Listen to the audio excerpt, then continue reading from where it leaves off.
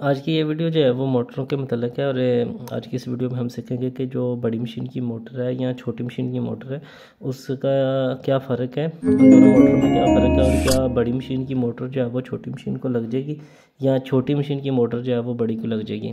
तो आज की वीडियो जो है ये मोटरों के मतलब है। सबसे पहले तो मैं आपको दिखाऊँ कि ये वाली मोटर, ये देखें, इसके अंदर जो है वो कोई भी गेयर वगैरह नहीं लगा हुआ। ये सिर्फ़ ऐसी ही मोटर है और ये इसके पीछे ये ऐसे है। ये आपकी मोटर जो है वो सिर्फ़ और सिर्फ़ पैंतीस कापी को लगेगी और उसके बाद जो है वो आपकी जो पचपन कापी मशीन है उसको लगेगी। उसके अलावा ये किसी भी मशीन को नहीं लगेगी। उसके बाद ये देखें कि ये है बड़ी मशीन की मोटर।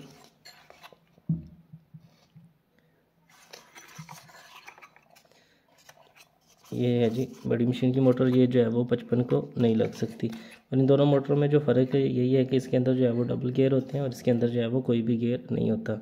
तो ये बड़ी मशीन की है और ये छोटी मशीन की। उसके बाद बात करते हैं जी ड्रम मोटर के मतलब ड्रम मोटर जो ये है, ये आपकी पचहत्तर कापी की मोटर है, बड़ी मशीन की है, ये पैंसठ और पचहत्तर, नब्बे तक जो जो बड़ी मशीनें होती हैं, उसके अंदर लग जाएगी। जो बड़ी मोटर की, जो ड्रम वाली मोटर है, ये देखें, देखने में जो है वो दोनों एक जैसी हैं। और ये वाली जो है, ये छोटी मशीन की मोटर है।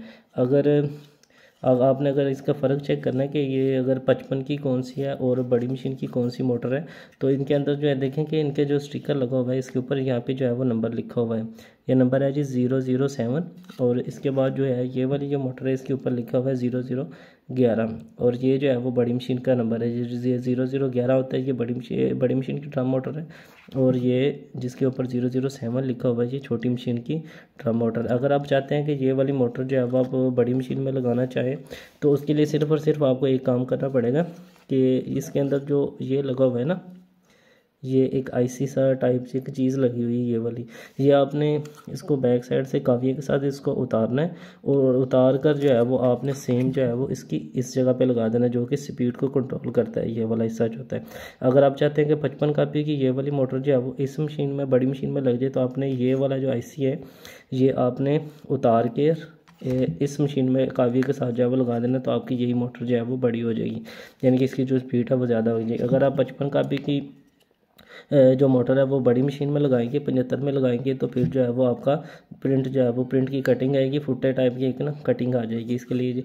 अगर आप ये मोटर जो है वो बड़ी मशीन या छोटी मशीन में लगाना चाहते हैं तो आपको ये आईसी जो है वो छोटी मशीन का, अगर ये बड़ी मशीन की मोटर है तो इसको छोटी मशीन में लगाना है तो आपने फिर ये छोटी मशीन का ये वाला जो आईसी वाला हिस्सा है, ये आपने चेंज कर देना काव्य के साथ। तो आपकी ये मशीन, आपकी ये जो मोटर है, ये उसमें जो छोटी मशीन है, उसके अंदर लग जाएगी।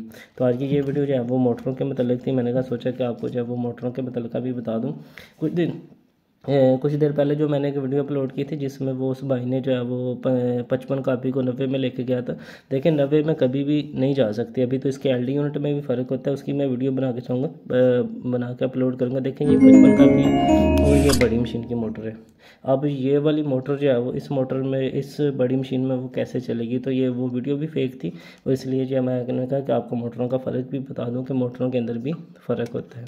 शुक्रिया। उम्मीद करता हूँ जी, आज की ये वीडियो भी आपके लिए इंटरेस्टिंग होगी, मालूमती होगी। अगर वीडियो अच्छी लगी हो तो प्लीज़ उसको लाइक कर दें और चैनल पर नया तो प्लीज़ चैनल को भी सब्सक्राइब कर लें। शुक्रिया।